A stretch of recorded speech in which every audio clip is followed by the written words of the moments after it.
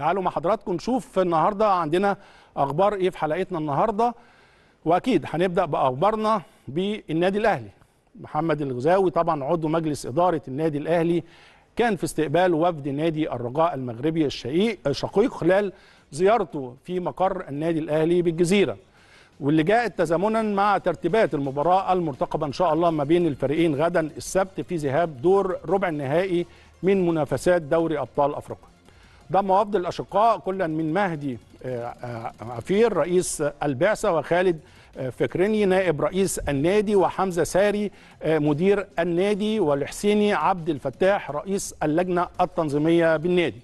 رحب طبعا محمد الغزاوي بوفد نادي الرجاء المغربي مؤكدا على العلاقات الوطيدة ما بين الناديين التي لا تتوقف على نتيجة أي مباراة انطلاقا من روابط الإخوة الأخوة التي تجمع النادي الأهلي وكافة الأندية المغربية.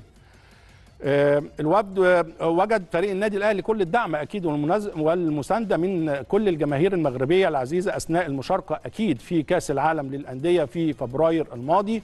جدد الغزاوي طبعا التأكيد على استعداد النادي لتلبية كافة متطلبات بعثة نادي الرجاء وتوفير سبل الراحة للفريق وجماهيره اللي هتحضر مباراة الغد إن شاء الله.